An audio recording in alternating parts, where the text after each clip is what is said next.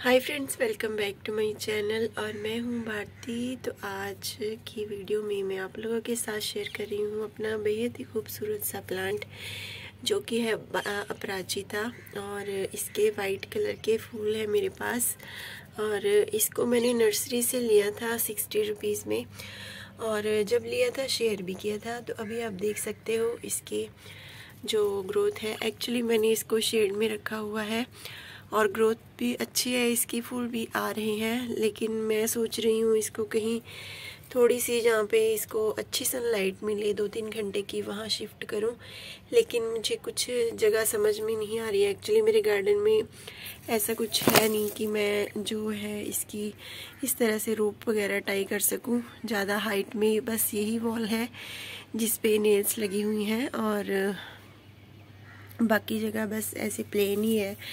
तो मैंने इसको तीन चार जगह पे शिफ्ट करके देख लिया है बट मुझे सही जगह यही लगी है। लेकिन प्रॉब्लम यहाँ पे ये आ रही है कि इसको यहाँ पे अच्छी धूप नहीं मिलती है। लेकिन ग्रोथ अच्छी चल रही है फिर भी। तो अभी मैं सोच रही हूँ इसको यहाँ से बाहर निकालूँ तो कहीं और लगाऊँ, थोड़ी सी यहाँ पे इसको सनलाइट मिले और भी ज़्यादा इसकी ग्रोथ अच्छी हो। तो मुझे ये बहुत ही पसंद है इसकी जो लीव्स होती हैं और इसका जो भी पूरा स्ट्रक्चर होता है, काफ़ी ज़्यादा खूबसूरत लगता है। और इसमें एक ब्लू शेड भी आता है, वो भी है मेरे पास। उसको मेरी मदर ने सीड से ग्रो किया था और इसके भी सीड्स मैंने स्टोर करे करे हुए हैं। तो इसको जब मैं नर्सरी से लाई थी, उसी दिन मैंने इस पर नोटिस किया था कि काफ़ी सारी फलियाँ आई हुई हैं। तो वो एक फली मैंने रख ली थी, ये वाली। और बाकी मैंने निकाल दी थी। और मुझे चाहिए थे सीड्स तो आज बस मैं इसी को ग्रो करूँगी और देखते हैं कि ग्रो होते हैं कि नहीं। तो बहुत ही वैसे इजीली ग्रो हो जाते हैं। तो जब मैंने फ़र्स्ट टाइम इसको लिया था, अपने गार्डन में ऐड किया था, तब जो है इसकी बहुत ज़्यादा फ्लारिंग जो है हुई थी। और तब मुझे इतनी गार्डन में कुछ प्लांट्स की नॉलेज नहीं हुआ करती थी। लेकिन सीड्स मैंने रखे थे ग्रो किए थे, लेकिन हुए नहीं थे। बस तभी से ये मेरे गार्डन में से जो है इनविजिबल होगी और अभी मैंने इसको ऐड किया है। और ये पहले भी मैंने एक बार लगाई थी, लेकिन वो किसी रीज़न की वजह से ग्रो नहीं हो पाई। और इस बार मैं लाई हूँ। और दो कलर है मेरे पास वाइट और जो ब्लू होता है। ये ब्लू शेड है, लेकिन ये थोड़ा सा स्लो ग्रोइंग है। और मैं सोच रही हूँ इसकी जो टिप है इसको काट दूँ ताकि ये जल्दी से जल्दी बढ़े।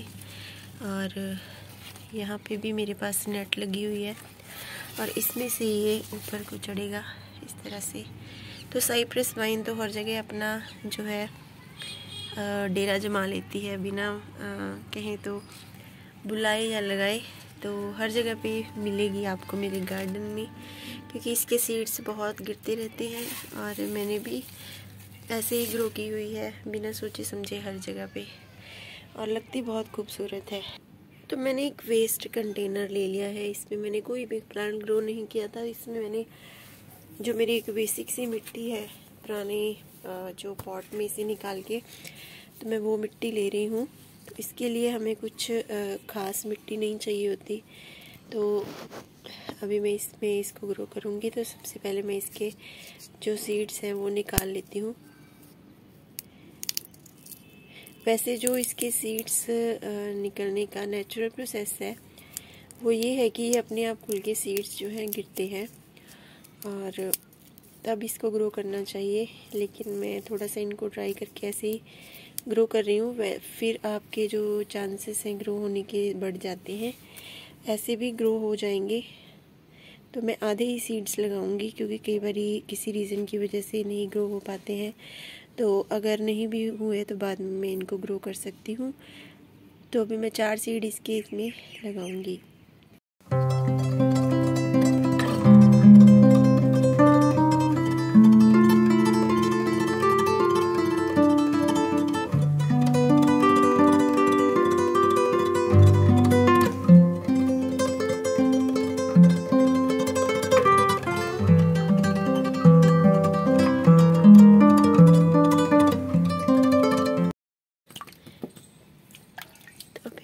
इसमें डाल रही हूँ पानी और पानी डालने के बाद इसमें जो इसकी जगह है, वो हमने चुननी है छाया वाली।